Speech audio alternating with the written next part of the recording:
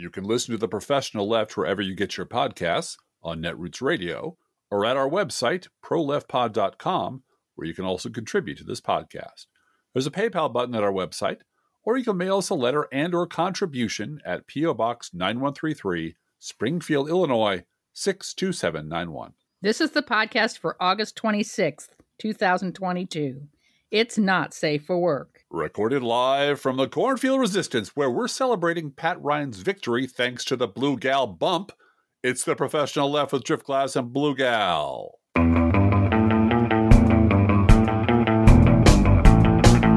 Hi, everybody. Hey, Blue Gal. I will not take credit for Pat Ryan winning in New York. Full credit. Don't take full credit.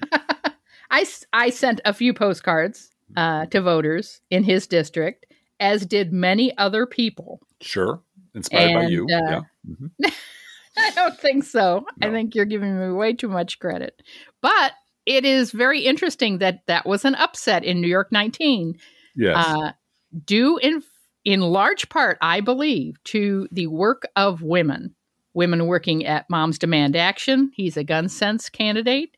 Mhm. Uh, women working at Postcards to Voters because he was one of the candidates that Postcards to Voters uh, focused on uh, Mhm. that special election.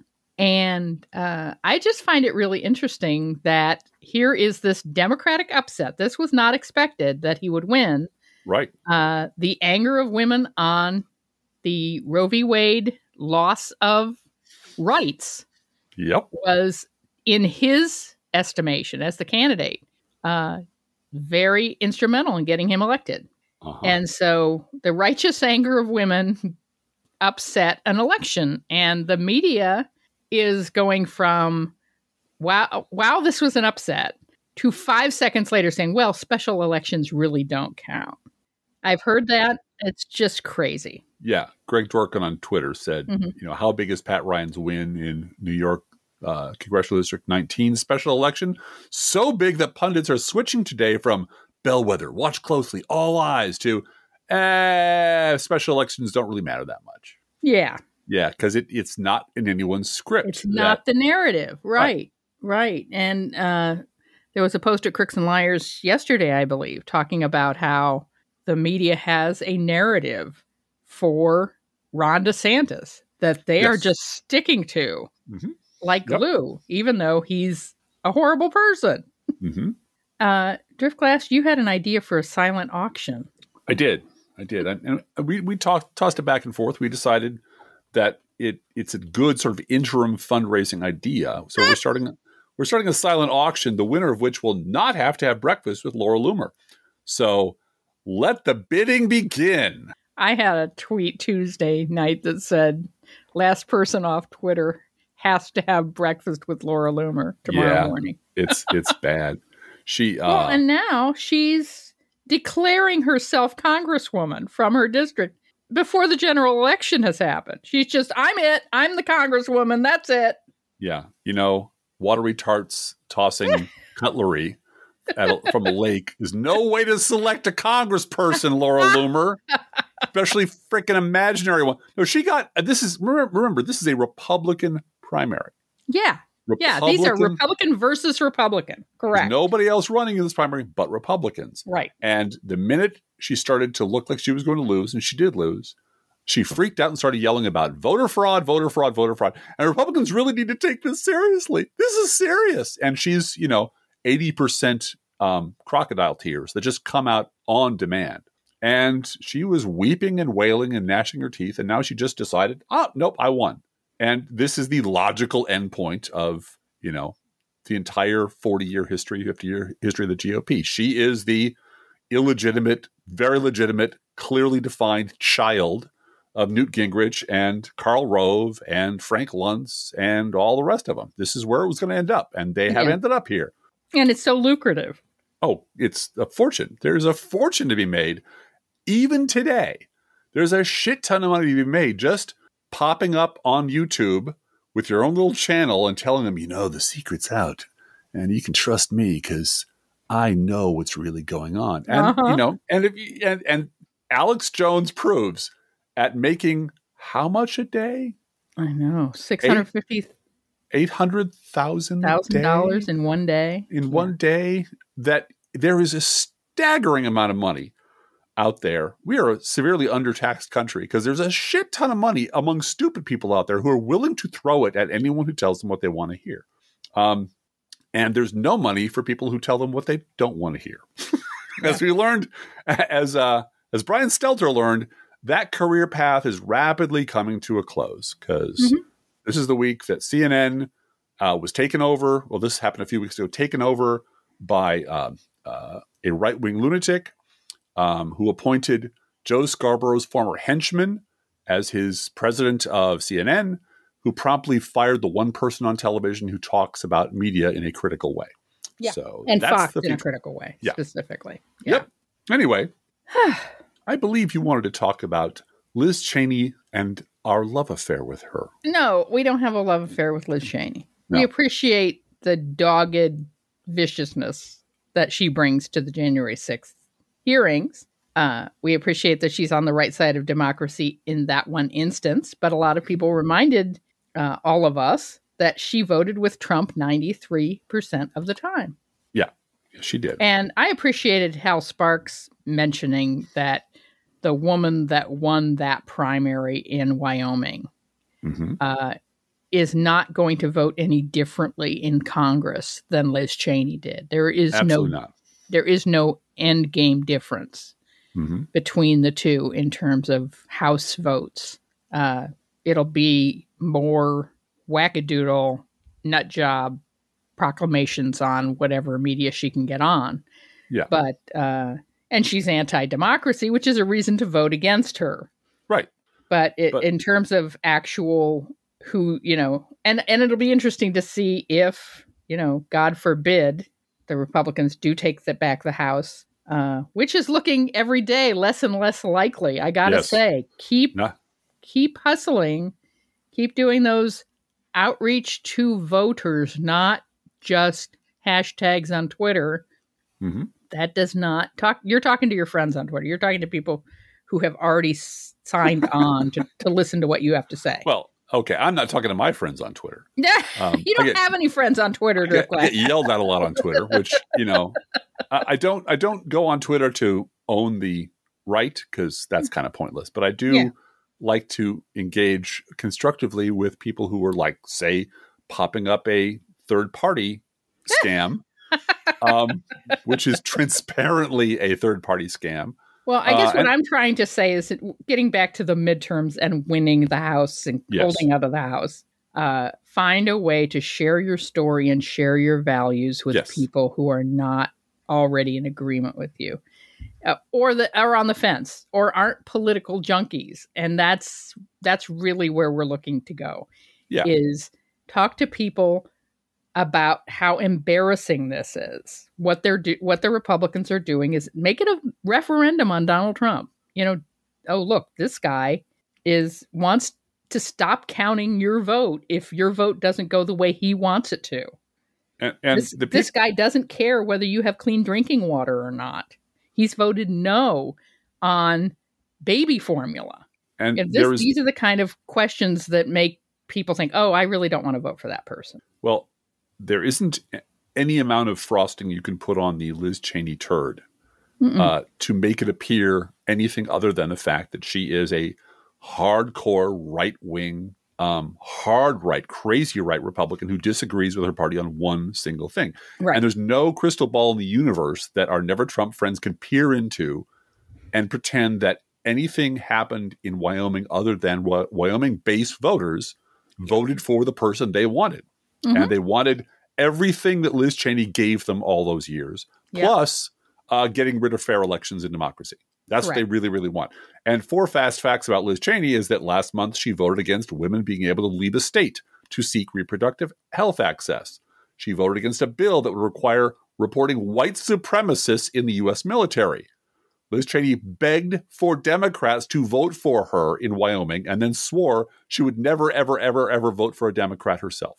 And finally, Liz Cheney lies about Democrats murdering babies and calls us, you and me, Democrats, pure evil. Mhm. So, no, she's not a fucking ally. She Yeah. never will be. She agrees with us on one thing. And the minute she gets a chance to put a knife in us, she will. And if you, she if is a hero to the Never Trumpers Driftglass. of course, she, she is their only hero. And they get very upset. They get very upset when you bring this stuff up to them because they have nobody else. And honestly, having monitored their their transmissions, you know, for weeks on end, fully half of what they talk about on Never Trump podcast is how awesome Liz Cheney is. Yeah, you got one person in your entire party who did one thing well, and you were worshiping her and sneering at us for pointing out that this is where your party was going to go all along.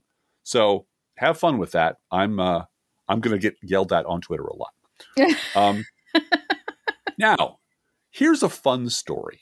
You know how much I love a fun story on Twitter, Blue Gal Oh, sure. because it unfolded from President Biden's student loan package, which we'll talk about in greater depth during the news. Suffice it to say, Biden did some good stuff this week. He for, is forgiving a bunch of student loans. He for, has already forgiven a whole bunch of student loans already.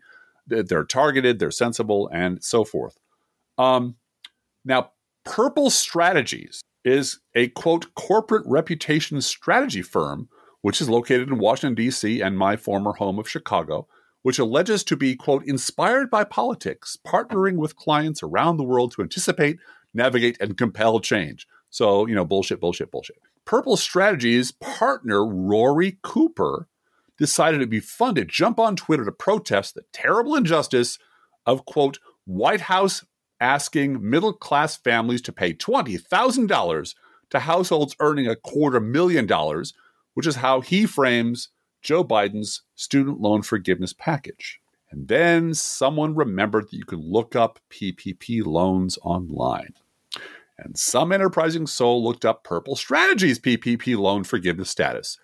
And wouldn't you know it, Purple Strategies was, was forgiven $1,645,900 worth of loans in 2020 and another $1,645,000 $873 in 2021, which uh, I think Keith Olbermann stole this line from me uh, this morning. It looks like Purple Strategies is going to need a really good corporate reputation strategy firm. Because, man, Rory decided to step way out on that limb. But the story doesn't end there, does it, Blue Gal? No, it doesn't. Uh, Mehmet Oz is also against student loan cancellation, but has had nearly 360,000 of his own PPP loans forgiven, along with nearly every other Republican whining about this. Now, the editor of the right wing husk that Newsweek has become, her name is Batya Ungar Sargon, also has a real beef with student loan forgiveness and decided also to hop on social media to bitch about it. Quote, I just don't know how these people making $100,000 a year look people in the face who char- who change seniors' bedpans for a living and drive a truck or work the railroad or stock grocery shelves or deliver their Amazon packages and say, You, yes, you, give me $10,000. I just don't get it.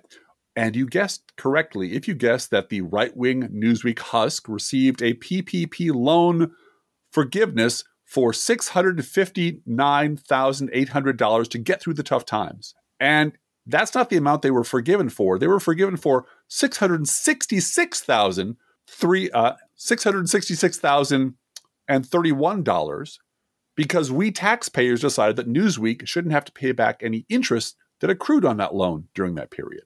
I'd also like to add in here Steve Crowder, the profoundly unfunny conservative quote unquote comedian who has 2 million followers on Twitter and runs a thing called Louder with Crowder on YouTube. Steve O also sneers at student loan forgiveness and was also forgiven two PPP loans of his own, one for $70,445 and one for $71,208. And let me say, I don't have a problem with forgiving PPP loans. I really think it's fine, even for conservatives.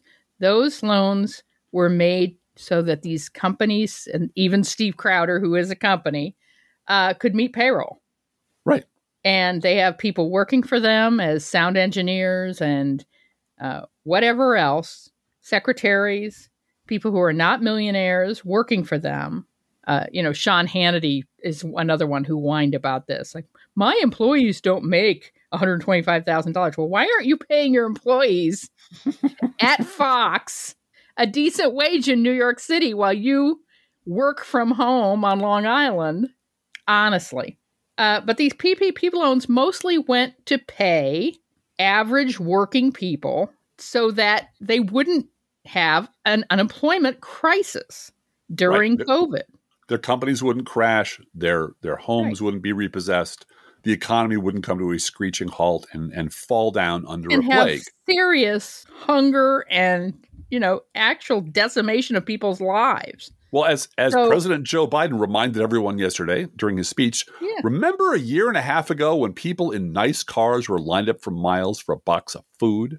Right. That's Right. what we were dealing with, which is weirdly being memory holed by these Yep. rich white assholes who Yep. don't want to forgive student loans. Right. Right.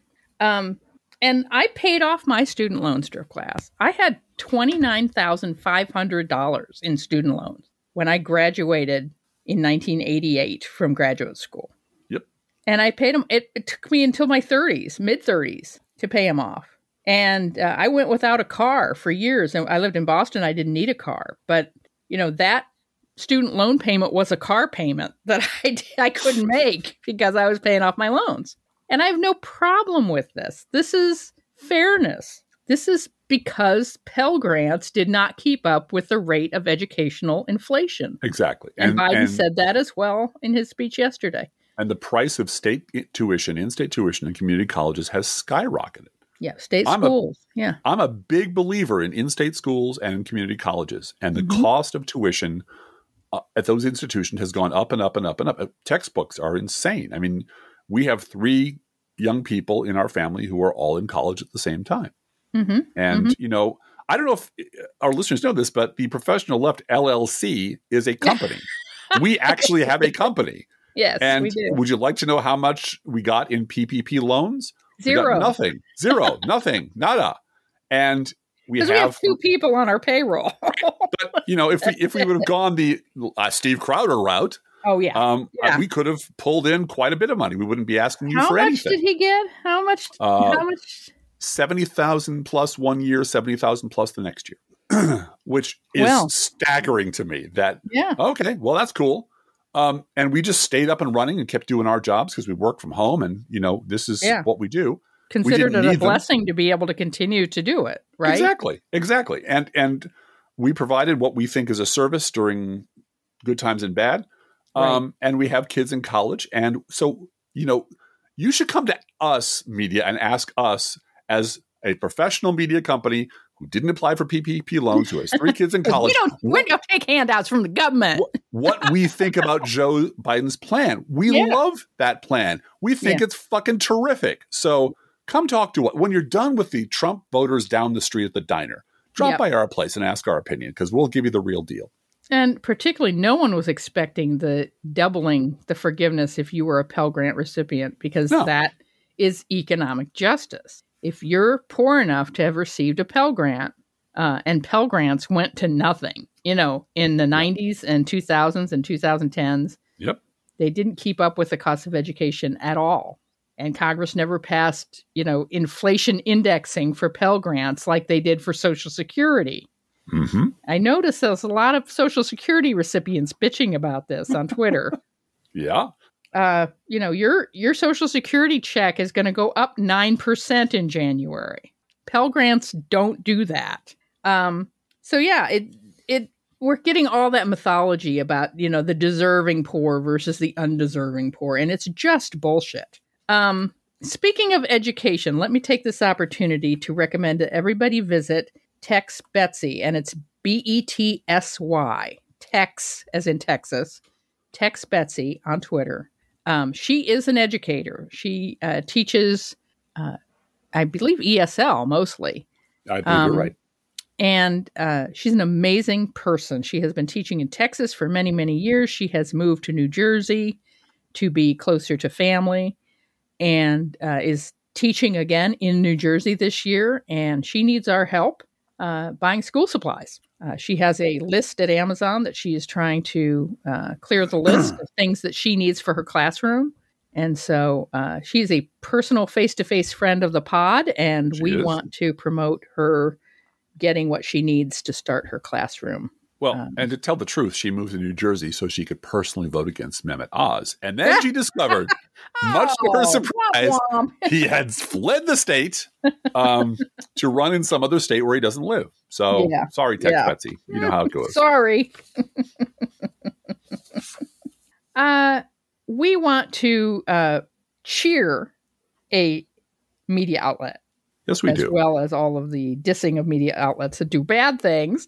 Uh, we really appreciated what the Cleveland Plain Dealer newspaper did this week. Their editors covered the J.D. Vance, uh, Ron DeSantis rally this Yeah. way hmm quote we reject the free speech trampling rules set by jd vance and ron desantis for covering their rally the statement was followed with a black and white square with a black x through it and we're done we're not going to promote this uh, good for them Yeah, that's exactly what you should do. That's exactly how you should cover these people. well and if you weren't you know going to cover it like you know if you weren't just going to air our talking points then we don't want you to cover our thing good we won't cover it then We'll cover the fact you don't want us to cover what you're talking Yeah. about. right Yeah, that's fair. That's that's journalism. Sure. Mhm.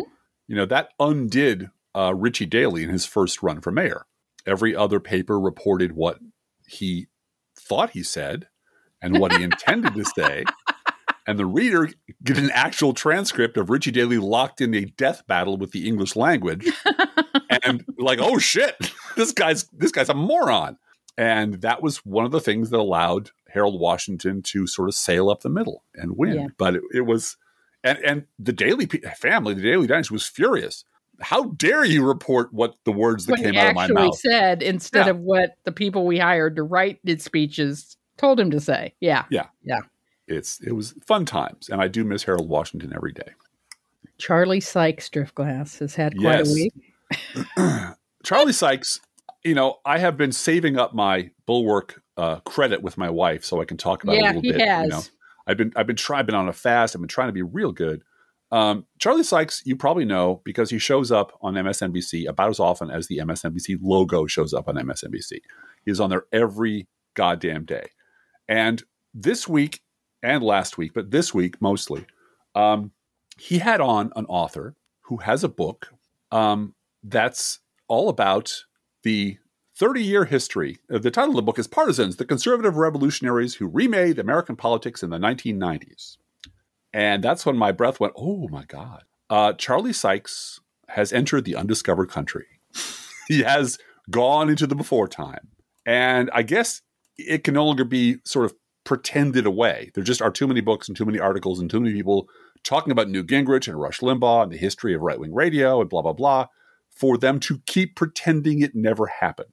So instead, Charlie Sykes has invited this author and other another author, Dana Milbank, on his show, where he sits with kind of wide-eyed childlike wonder and pretends he never knew about any of this stuff at all. Really? There was a guy named Newt Gingrich and he was a mean guy? Really? There was it's not quite that bad, but it's pretty much that bad. And it it is just hilarious to me that Charlie Sykes, who is a 30 year conservative radio veteran from Wisconsin, who knew Newt Gingrich, who had Newt Gingrich on his show, hmm and who was a Wisconsin Republican power broker because he had a radio talk show um, that was modeled on Rush Limbaugh's show. And he's just like, wow, I never even realized any of this stuff. And this woman is giving, and this woman is like reading our blogs, Blue Gal. She talks Yeah. about um, Newt Gingrich and the majority maker thing he got and what happened with Rush Limbaugh and all the imitators and the Rush rooms, et cetera, et cetera, et cetera. And the story about what really happened was in 1992 when George H.W. Bush needed to suck up to somebody to get him over the Pat Buchanan hump, and he turned to Roger Ailes, who was Rush Limbaugh's TV producer, and on and on and on. And I just stopped during this thing going, you know, this woman, this woman author named Hemmer, um, you says you have advisors to Bush saying you have to sound more like Rush Limbaugh to George H.W. Bush. And then you have a leader in the Republican Congress named Newt Gingrich. And I just stopped and said, Yes, we know. We know. We fucking well know. We all know this. Why are you talking to Charlie Sykes as if he doesn't know this stuff? I don't want to frighten you, but one of those Limbaugh imitating wingnut message amplifier people is sitting right across from you. Why don't you ask him about his experience? And Charlie Sykes just kept brushing past it. He said, Yeah, I, I, knew about that stuff. Yeah, I was sort of involved in that. But let's talk about what really happened. Let's talk about the future. Let's talk about how we got here. And every time the conversation veers slightly into, you know, what happened during the period between 1992 and yesterday, he just backs away from it, walks away from it. And then finally, he said, You know, that was a long time ago. I'm sure there were some turning points. But I do want to take a quick digression. So let's run the tape forward to where we are now. And he then, and she's really clear about this. In her book, she says none of it had happened behind the scenes. Yeah. None of it was hidden. It was all out there in plain sight. I swear to God, it's straight out of our blogs, little gal. Mm-hmm. She's I saying, look, you. this happened out in the open. This is there's no mystery about this. And Charlie Sykes says, and I quote, I'm going to put myself in that category that I did not fully understand that transformation. How deep it ran. I mean, look, we all saw Pat Buchanan and we knew those people were out there. We never thought, we, me, didn't think that it would ever become dominant. But they saw something that a lot of Republicans did not see, right? And then he throws it back to her. Mm-hmm. And I'm just looking at this, looking at my microphone, looking at looking at the speaker, going, "Holy Jesus!" Because all of it came down to I didn't never know nothing. I didn't know what was going on, etc. Well, there's two, and, and there's this whole rationale about how you know liberal media was biased, you know, terribly, terribly, terribly biased, and so conservatives had to have an alternative. So maybe liberals are kind of responsible for the fact that, you know, we went nuts and started lying to everybody. And I keep hearing that complaint that the conservatives had no choice because the bad old days, everything was so biased. And I never hear any actual concrete system wide examples of that terrible bias. So I ask myself, is he talking about how Lyndon Johnson sailed to victory in his second term because the liberal media would not talk about Vietnam or protests? It was the horrible injustice that was done to Nixon by those nasty Washington Post reporters? Was it the fuss liberals made over that innocent misunderstanding like Iran Contra? Was it how liberals rushed to blame conservative media paranoia for the Oklahoma federal building bombing just because the bombers were quoting verbatim from right wing media propaganda? Was it how Edward R. Murrow ended every broadcast with death to the West?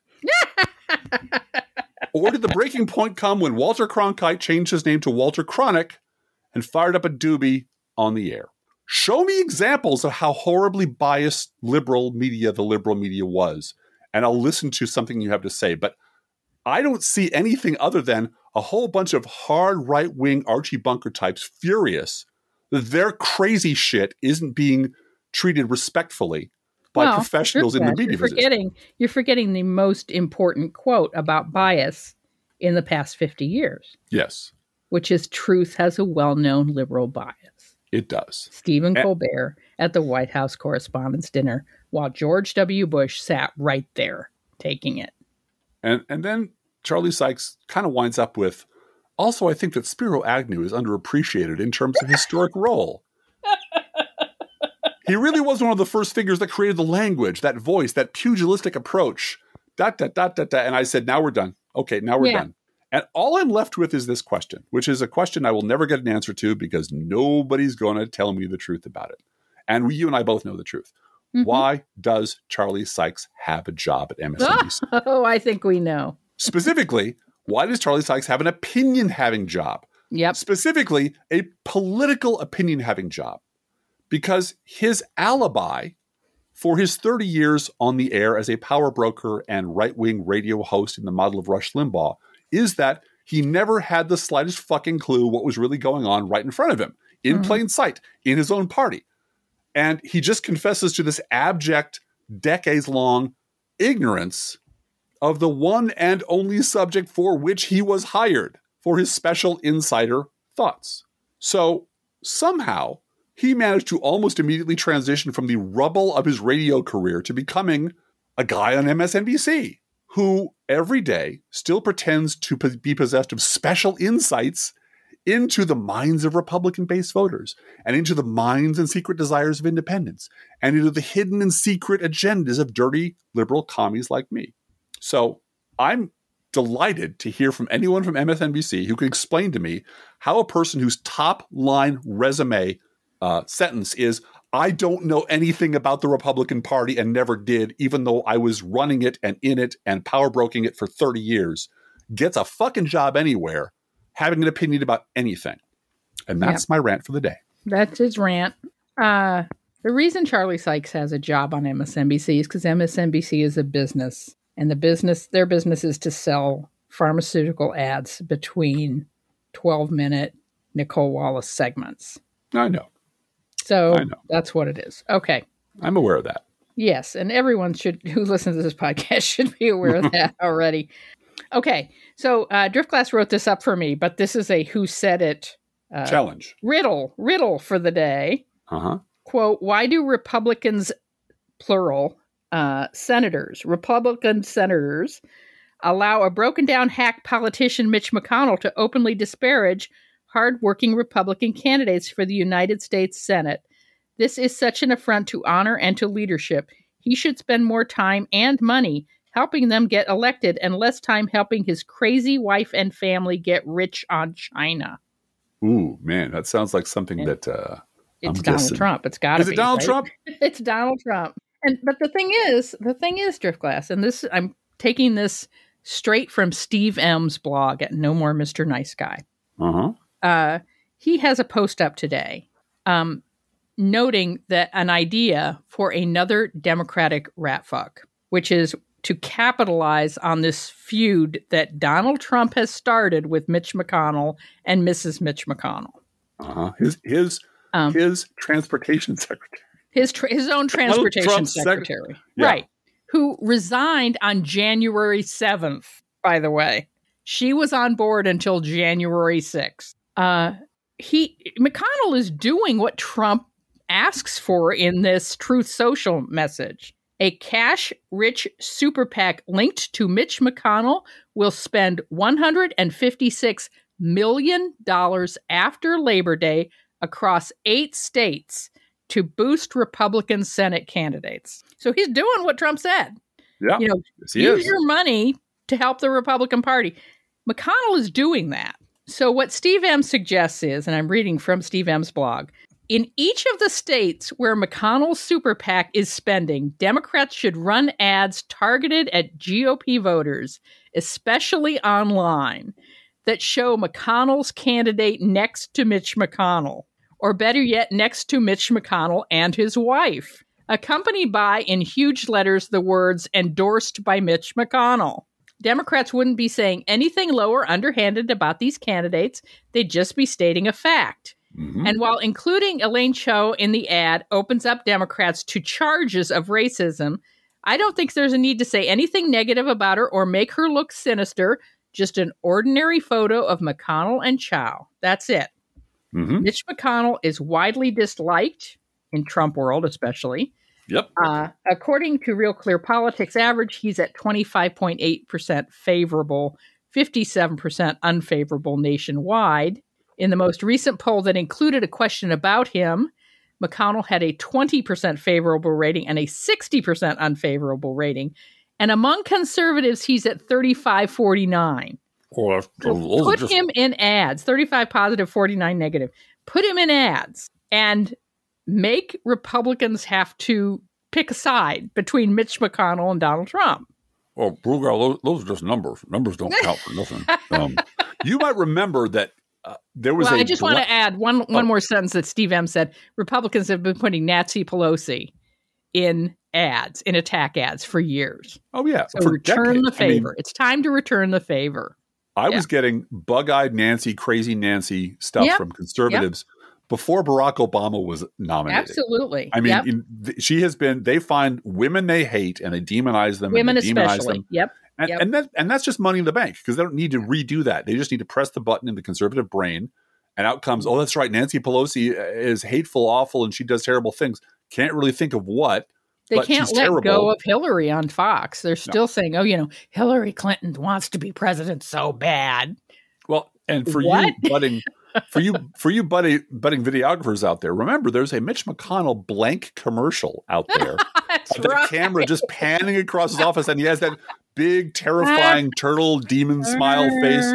And it's it's you know you can throw anything you want on there, anything you want. It's it's public domain. Um, so go do that, and then let us know. By the way, um, this is not in our notes, but I do appreciate this. Did we mention this last week? I think we did. Um, the gentleman who did the uh, um, Biden video. Yeah, I can't remember when that went out, but he, we did not mention the nice thing he said about you. No, it was uh, uh, just blew me away. Just absolutely blew me away. Yeah, It was, uh, um, the guy who made the video of the um, dancing Weapon Right. of choice. weapon the of Joe choice. Biden weapon of choice video, which was just amazing and wonderful and went viral and everywhere. Um, dropped a note to my wife. Yep. And he said that uh, it was because of reading your blog, Driftglass, for all those Yeah. years that inspired him to do the work that he does today. Yep. I I just about fell over. I got to I- tell you. well, you couldn't fall over because you were in bed and I woke you up to read That's true. Wake up. Wake up. I got to read this tweet to you. This is so nice. Yeah. Mhm. Yeah. By the way, wake up. I've got to read this tweet to you. Is pretty much every day in our house. So It is. One of us is waking the other one up to I- read a tweet. wake up or something. Uh, th- here's a cartoon in the New Yorker. It's hilarious. Wake up and read this, Yeah. honey. Yeah. Can I read this this paragraph to you from a 1938 story by Fritz Leiber? Um, Can I read you some of Ayn Rand's unpublished manuscripts? No, you may not. No, no. Go back to sleep. Um, speaking of Ayn Rand's unpublished manuscripts, um, really? Must you, Driftglass? a, a character who might well have stepped out of a first draft of Atlas Shrugged as a Oh, smarmy right wing asshole is a guy named Noah Rothman. He is the smuggest asshole on television. He, He, is. really he is. is. He's a Yeah. giant smug asshole. Uh, you might confuse him with uh, uh, Bill Kristol's idiot son-in-law because he they're they're, they're from the same mold. They're privileged. They're real white. They get lots of time in the media. They have no business being there, and they're all over the place. And they're there for reasons that no one can explain to me, and and never will.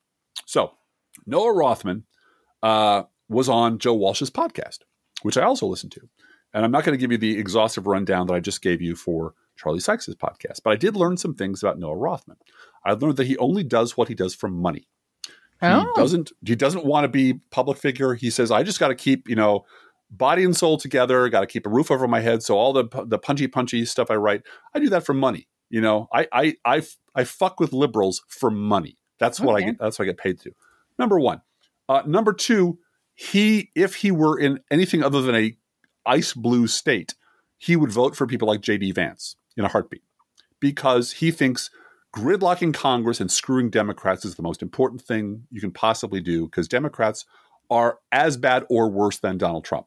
Number three, he had his ass saved during the great Trump purge Mhm. of conservative media by guess who? MSNBC. Yep. MSNBC decided to reach into the dumpster of Republicans who got chased out of their media jobs and pluck out Noah fucking Rothman and give him a job on MSNBC where he proudly says, basically, I spent all of my time shitting on progressives because progressives are awful, Democrats are terrible, and I would never, ever, ever, ever, ever vote for Democrats. So, hey, He's let's a give very this cushy asshole. seat on Morning Joe. I know Yeah. that. Yeah. Oh, repeatedly. So MSNBC, you can thank MSNBC and Joe Scarborough for the fact that Noah Rothman still exists in the media universe. Because by the laws of the marketplace, he should have been swept out once Trump was swept into power. But your liberal media decided this guy, among all other people, needed a safe place and a steady paycheck, and they put him on the air specifically, specifically to shit all over people like you and me, which he loves doing. because he shows up on time, Mhm. sober. I mean, this is this was my explanation for why George Conway's on television. Yeah. Shows up sober, speaks in sound bites, shuts up when it's time to go to a hard break, and it doesn't matter what he says to anyone upstairs as long as the ads show up on time. Well, here's the thing. and he doesn't that. offend anybody by actually spouting liberal politics. That's you the thing. He yeah. he. I don't. I don't know or care what executives at MSNBC watch or don't watch or pay attention to. Mhm. But of all the people you could pluck out of the universe who can actually show up to work on time and sober and say Yeah, things in short sentences, they picked the smarmiest, They did. assholiest, most right wing d bag during the height of the Trump administration to come on the yeah. air and shit on liberals and shit on Yeah. Democrats. Yeah. And that is a decision. That's not an accident. They picked this guy, and they picked this guy because he pisses off people like you and me. Yep. And that's there are lots of people out there who didn't get PPP loans, No. whether they're actual PPP loans or PPP loans from MSNBC to save your career, Yeah. and who Yeah. struggled and and and fought and survived or didn't survive. This guy has been gliding through his life on a mm-hmm. cloud of privilege, and he Yep. lets you know it. And he lets you know that Yep. while Trump and the Republican Party are beneath me and they're small and they're petty and they're silly and stupid, Democrats are just as bad. And I'd like you to pay me a lot of money to go on the television and say that. And MSNBC said, sure. That's what we need during the height of Trumpism. Some asshole like you insulting Democrats when Democrats are already down and terrified. Yep. Anyway, Yep. I want to talk for a second about a segment on Ali Velshi's weekend show Mhm. where he had Frank Luntz and a Republican congressman come on and talk about both sides and getting along and being polite to one another and listening to the other side and both sides and how can we come together and understand each other. And the Republican congressman kept bringing up in between all of his cl- claims and desires for problem solving, he kept bringing up the border right. as if that's a thing. You mean the border between New Jersey and Pennsylvania? Yeah, or- that one. Oh, the Yeah. one that that immigrant mem- Oz crosses all the time, right? Yeah, Uh, no, not that one. And Frank Luntz being there in particular, Mm-hmm. and and believe me, when it came up against a hard break, Frank Luntz was ready to say something. He shut up right away because he knows time to go to commercial. My job is to shut up. Uh, Frank Luntz. I'm just going to remember one thing about Frank Luntz. He organized the caucus room conspiracy yes, he did. Yes, he did. he organized it. He had Newt Gingrich and Mitch McConnell, House Speaker Paul Ryan, all these guys met at the Caucus Room Steakhouse in in Washington and came up with a plan right around the time of Barack Obama's inauguration that they were going to block everything he did Yes. and that that was their strategy Mhm. governing strategy of the party was to block everything and they are still doing it To, they're to s- blocking baby formula. They're blocking clean water. They're blocking help for students. They're every it's just vote no on everything. Mhm. And so what you have now in this party is an increasing number every 2 years of grifters who are not there about policy, who are there to grift money from the rubes and vote no. And that's their job. It's not to introduce a bill, make anybody's lives better, name a post office. It is to vote no and get money and and own the libs. and own the libs. Gotta Well, that's libs. part of that's part of the get money part. That that is what they're selling is owning libs. That you get money for that. And you put that in your super PAC and you can spend it on a $92,000 SUV like Marjorie Taylor Greene did.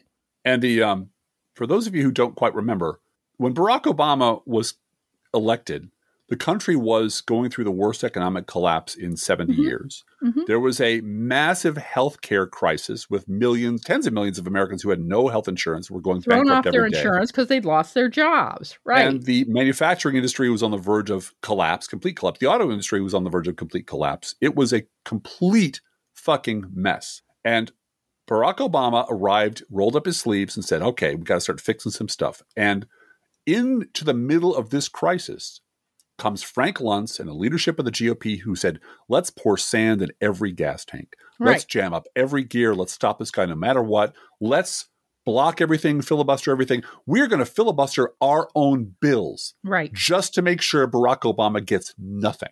And they got a No lot of help. successes. No successes. And they got Right. help from people like Joe Lieberman, Right.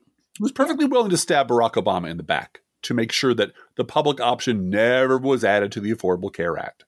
So they ran on obstructing and stopping everything Barack Obama tried to do, and then ran on Barack Obama being a tyrant because the only tool left to him were executive orders. hmm Meanwhile, the rest of the party was busy organizing the fake Tea Party, Right. who were suddenly all these independents who'd never heard of George Bush, but who hated Barack Obama and hated the deficit and hated government spending and hated liberals. And they started flooding into town halls everywhere, screaming about the goddamn communist plan to take over our healthcare system and murder my grandma.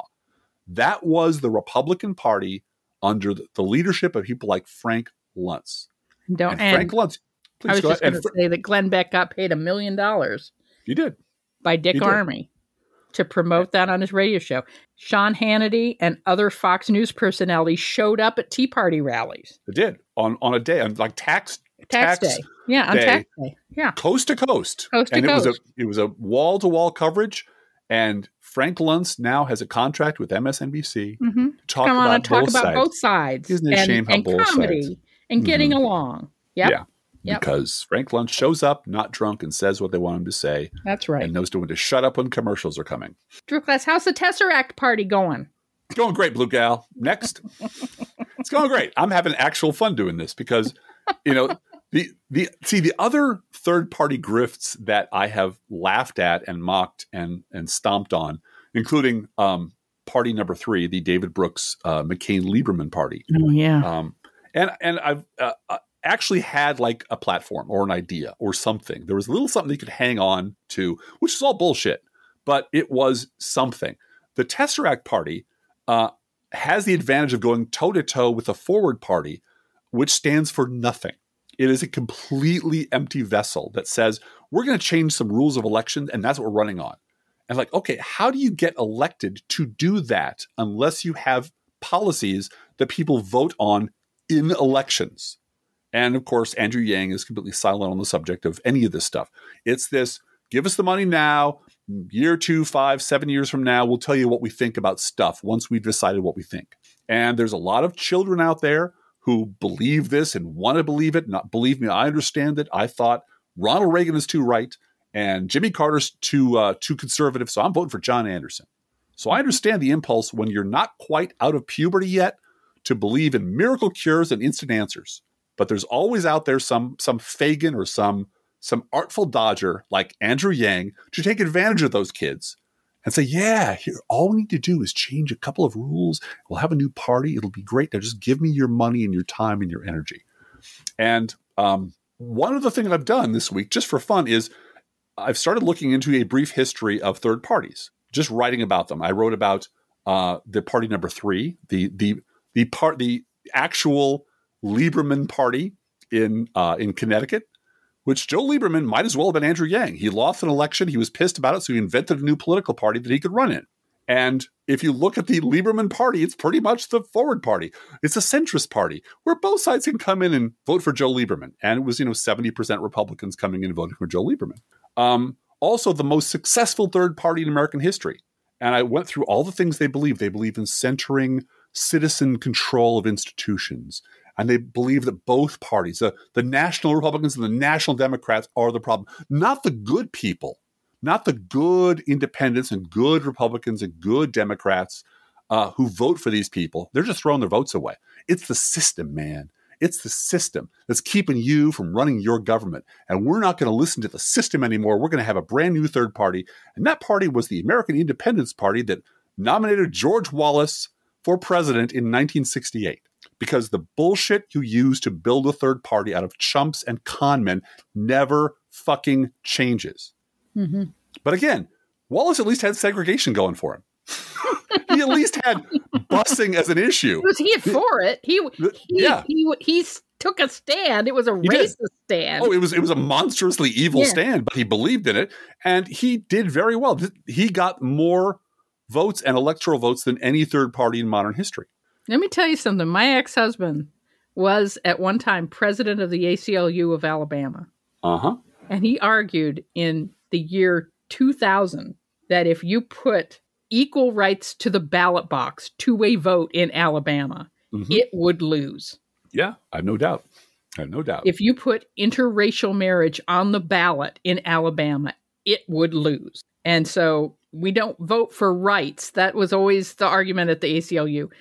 Rights aren't something that we allow one group of people to vote on And for another away. group of people. yeah, Uh, but it's So- it's interesting to me because the language of building a third party scam always has to be mhm. both sides are bad. There's not dimes with the difference. We're the third way, and here's the yeah. thing we're gonna do.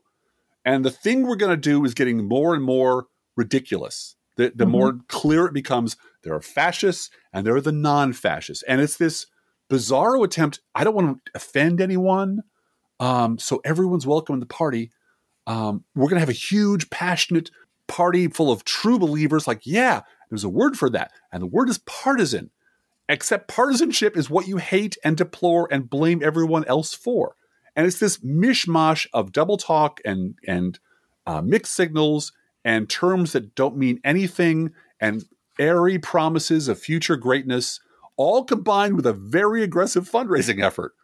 And so I'm having a fine time just sitting on Twitter and sitting on social media and tracking these people and dropping them a, a, a, proposed anthem every now and then or some new graphics for their cause or whatever. But it is refreshing, at least, to find someone who can who's who's out and out scamming people, who's trying to cover it up, who's trying to hide it. The right wing is no longer attempting to be anything other than an American fascist party. There's no point in trying to trick them or con them or or scare them or appeal to their conscience. They don't have a conscience. They are fascists. Stop trying to reason with them. But these people in the middle, they keep trying to find some tricky language that's going to let you believe they have the answers. And their tricky language always screws them up because it always ends up sounding dumb or contradictory or clearly just a, a way for Andrew Yang to raise money. Anyway, it's going great, Blue Gal. Thanks for asking. We got to talk a minute for about Rick Scott's Twitter account, where Rick Scott uh, bitched about Joe Biden vacationing at his home, by the way, in Delaware, uh, while Rick Scott was vacationing in Italy on a luxury yacht. Please be reminded that Rick Scott was also found guilty of the largest Medicare fraud in U.S. history for which his hospital was forced to pay a $1.6 billion fine. Uh, Rick Scott is also now uh, in charge of the National Republican Senatorial Committee, which is nearly broke. and uh, other Republicans are demanding that Rick Scott be investigated and the National Republican Senatorial Committee be audited. So, uh, what a good week for Rick Scott. Yeah, it's just perfect. And, you know, I just I can't help but laugh because I, I just picture him Skeletor lounging on a yacht, unaware that his uh, actual congressional his, his senatorial campaign is burning to the ground. Let's do a news roundup, Driftglass. The Bidening continues. The Biden proposal for student debt relief has been announced. Ten thousand dollars for uh, some borrowers and twenty thousand dollars for Pell Grant recipients. Only for under uh, one hundred and twenty-five thousand dollar individual or two hundred fifty thousand dollar household income. Uh, the aim is to cap undergraduate loan payments at 5% of monthly income. Uh, the program includes graduate school loans, Parent Plus loans as well. Interest is paid for as long as the loan is kept current, and the moratorium on payback is extended one last time until December 31st. A uh, reminder that Joe Biden already canceled a lot of student debt, including $3.9 billion just this month for former students of the now defunct ITT Technical Institute. This brings the total amount of loans discharged approved under President Biden to nearly $32 billion.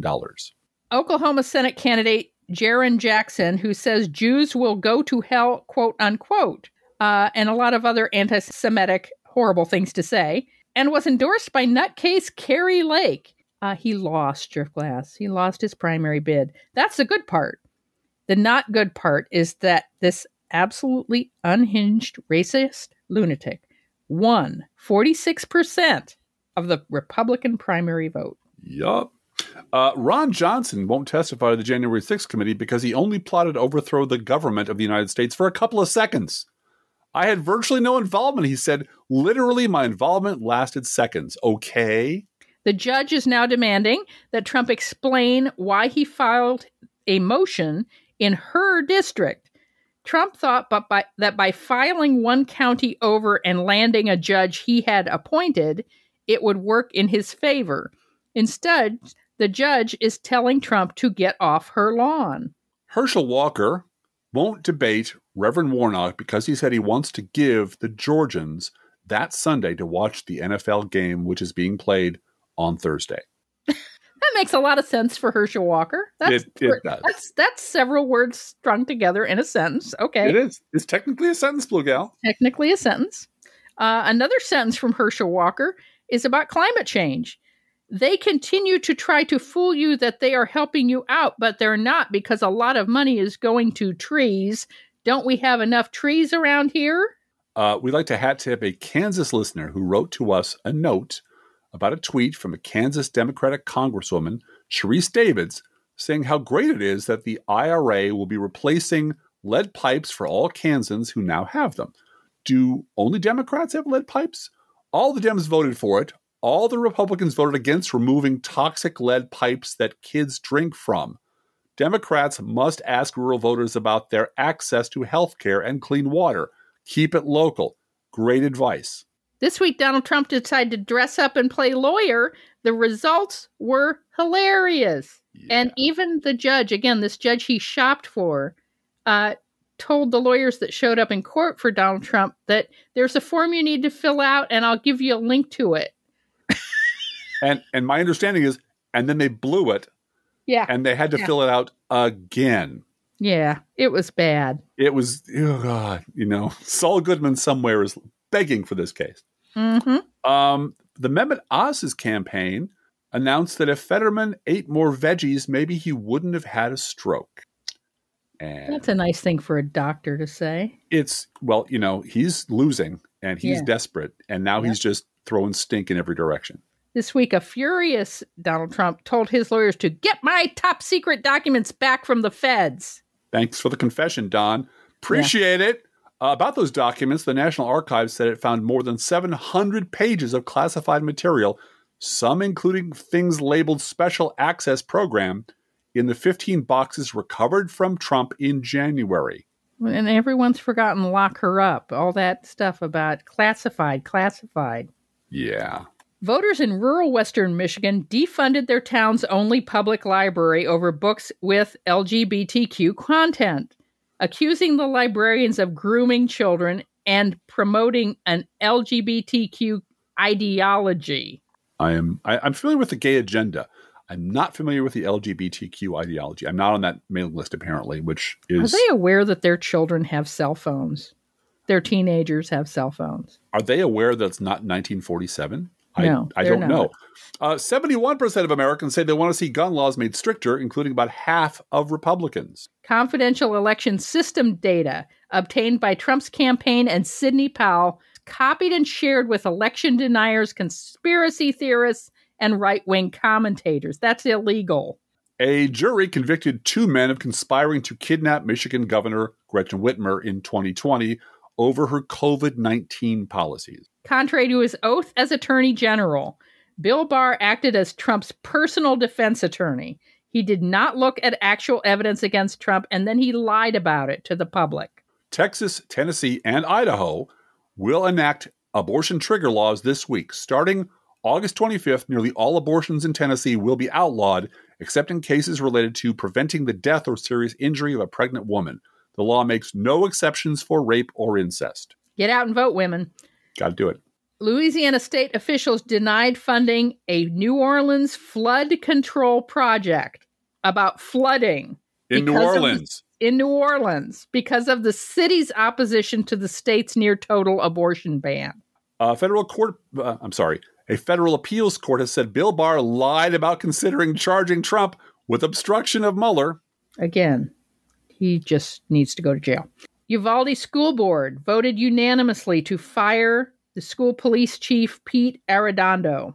And two Florida residents just pleaded guilty in a federal court to stealing a diary and other belongings of President Biden's daughter, Ashley, and selling them to conservative group Project Veritas in the, pri- in the final weeks of the 2020 election.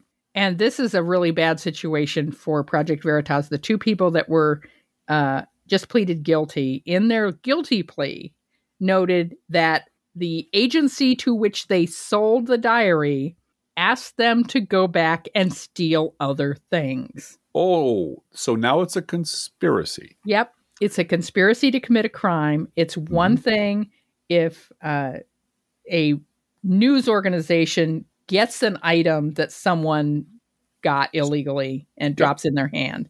It's another thing for that quote unquote news organization to say, Can you go and steal anything else? That'd be great. To solicit a crime? Yes, Yeah, that would yeah. be bad. Very, very bad. In local news, Governor J.B. Pritzker's campaign committee has given $1.5 million to the Democratic Party of Illinois, $1 million to the Senate Democrats uh, campaign, and $3 million to the Democrats for the Illinois House. They've given zero money to Mar a Lago or Deutsche Bank. You know, you talk about bipartisanship, and yet you won't give money to Mar a Lago or Deutsche Bank. What, Yeah. what the hell, man? Uh, for some reason, Darren Bailey decided this week to attack one of J.B. Pritzker's campaign buses. For some reason, Darren Bailey decided this week to attack one of J.B. Pritzker's campaign buses for having a Tennessee license plate instead of Illinois plates because Bailey's campaign is being run by children. Unfortunately, right under the word plate was the word apportioned, which means, quote, although fleets register cars or trucks in one jurisdiction, an apportioned registration means they pay taxes and fees in each state and or province where they operate. Most importantly, their payments are proportional to the number of miles a vehicle logs in each place. So, the Pritzker campaign is in fact paying taxes and fees in here in Illinois.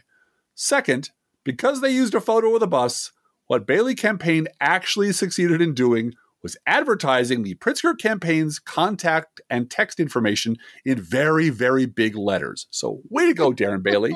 way to go. And there's more. When Governor Pritzker announced that he had rebuilt the Illinois Rainy Day Fund, which was virtually broke during the reign of Bruce Rauner, the notorious Illinois Policy Institute came right off the blocks, waving a report from another libertarian chop shop, Truth in Accounting, arguing that the state authorities should have used the billions in federal aid to pay down interest on existing pension debt rather than save it for a rainy day fund. Experts warned this could lead to more state borrowing. The problem, which the governor's office helpfully provided to the Illinois Policy Institute and Truth in Accounting after they'd stepped on this rake, uh, the regulations of the Treasury Department forbid funds from being used for deposits into a pension fund. Oh no! Also, the Illinois Policy Institute has a long history of denouncing the state for having a rainy day fund. Uh, the state has already ponied up an additional 500 million for extra pension payments on top of what the state was obligated to pay by statute. Also, when Senate President Don Harmon did ask for federal help bailing out Illinois pension funds, the Illinois Policy Institute and others freaked out. The Helena headline from the Illinois Policy Institute was Why Congress Should Reject Illinois' $44 billion bailout request. Yeah. See, when you have a memory and a budget, Yeah, remembering shit is is, you know, the left remembers. it's powerful. It's powerful. Uh, finally, uh, this brief sketch of life in Trump country was sent to us with a hat tip to listener David. It's about uh, a band of Patriot Front Nazi scum from across the river Missouri coming all the way to Springfield to vandalize the Phoenix Center, which is a local nonprofit doing God's work, providing housing services and education to at-risk LGBTQ plus youth in central Illinois. The story here is not the Nazi scum behaving like Nazi scum. That's never a story. It's the weary warrior soldiering on reaction of Phoenix Center Executive Director Jonna Cooley. Quote, it was really a non issue for us. We saw it, we had it repaired, we made a police report, we went about our business. If we took the time to deal with every person that has a hateful comment or leaves a hateful message on the machine or whatever, we'd be wasting a lot of time. It's just something that's to be expected. Yep. So a bunch of 20 somethings from Missouri came over and spray painted ugly stuff on the door of the Phoenix Center. Yeah. And the executive director said if we took time to to address that bullshit in any other way than to just report it to the police and get on with our work, Mhm. we'd be wasting our time when we have lives to save Exactly.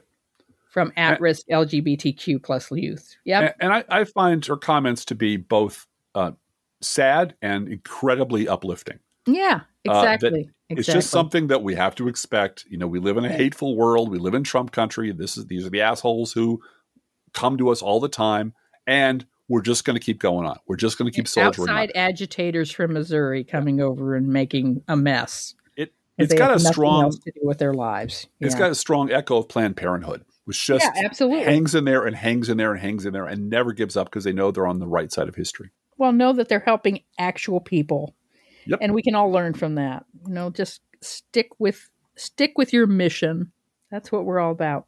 Hey, each week we post to our Facebook page and website an Internet Kitty sent in by you, the listeners. This week's Internet Kitty is Hank. Hank is a 14 pound boy who was rescued from a life on the street. And Hank loves freshly poured cat food so much, he sometimes won't wait for it to actually be poured. Hank has been caught on camera attempting to push the container of kitty treats onto the floor for the freshly poured experience. Wow. Once they learn to do that, you and I are just doomed, Blue Gal. Oh, man. Yeah. Of course, Hank does love freshly poured cat food, our fake sponsor. Whether you serve Pet Store Perfection or Dollar Store Dreck, your cats will sit on the kitchen floor and demand that the food they eat is only freshly poured. Freshly poured, freshly poured. Oh, my lord, it's freshly poured. And you can visit Hank at our Facebook page or website. You can send your internet kitty dog or other pet to us at our email address, proleftpodcast at gmail.com, or you can also write to both of us. Feel free to write us. We love hearing from you. Be aware that if you write us at any of our addresses, we reserve the right to read your email or U.S. Postal Service. Go, postal unions. Letter on the air unless you say otherwise. Hashtag fire to joy. And do send those postcards to voters too. Mm-hmm. Don't forget our gourmet coffee guideline. If you can afford to buy an espresso based beverage for yourself, buy one for us. This is not charity. This is our job, and we do not get PPP loans to meet payroll every month. Approximately 1% of our listeners support this podcast with a contribution, and you can too. See our website, proleftpod.com, for details. Our PayPal, postal address information, Patreon, all of it is there at proleftpod.com. And we don't have advertising except for Freshly Poured, our fake sponsors. So Oh, we we have appreciate a- your support. We have a lot of advertisers who have uh, gone quiet for a little while, but we're bringing a few back. Don't worry Oh, about yeah, it. crock blockers and Oh, yeah. uh, Yeah. yeah, Hello Fascist at Te- home. technically, it's a salad. delivery. You know, Technically, So- it's a salad. so yeah. many good sponsors. So many. Please share our show on social media. And if you love this podcast, please go to our website, proleftpod.com, and send us five bucks. That's a great way to let us know you liked a specific episode. Thank you so much for doing that. Hey, Driftglass, how are the Internet Kitties doing this week? Well, Blue Gal, the Internet Kitties are all in favor of student loan forgiveness as long as those students sign a binding contract to call home at least once a week. At least once a week. Let's think about living. Let's think about loving. Let's think about the hooping and the hopping and the bopping and the loving, lovey doving.